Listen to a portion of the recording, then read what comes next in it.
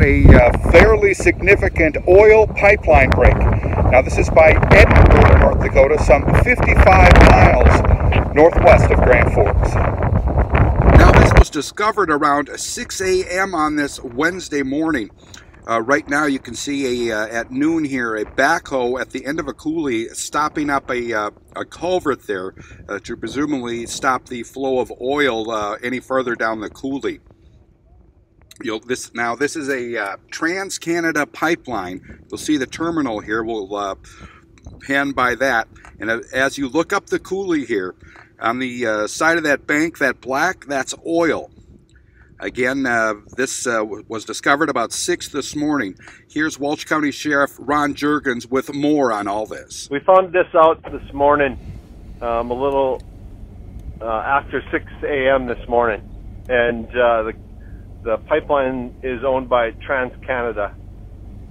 Okay. Any idea how much uh, oil has spilled and has it been turned off?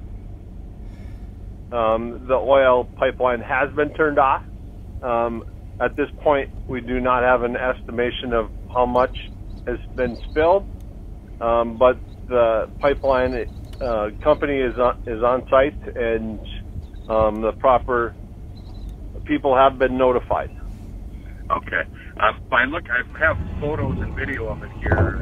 I mean, it's safe to say thousands of gallons it's pulled on top of the field. So, it, uh, it, it, it to, to me, I've never had one, Neil, so I I can't I've I can't tell you offhand, and I haven't gotten anything official from the pipeline company. Um, yes, I, um, I believe um, there's some pipeline inspectors that from the state that will be up to look at this also. So yeah, I, um, the state um, has been notified uh, as well as the you know the water water. Uh, people also. So yes, there uh, proper notifications have been made through emergency management, and uh, um, there will be people that are coming up to check, you know, the water quality and all that stuff. Also, as well as making sure supervising the cleanup.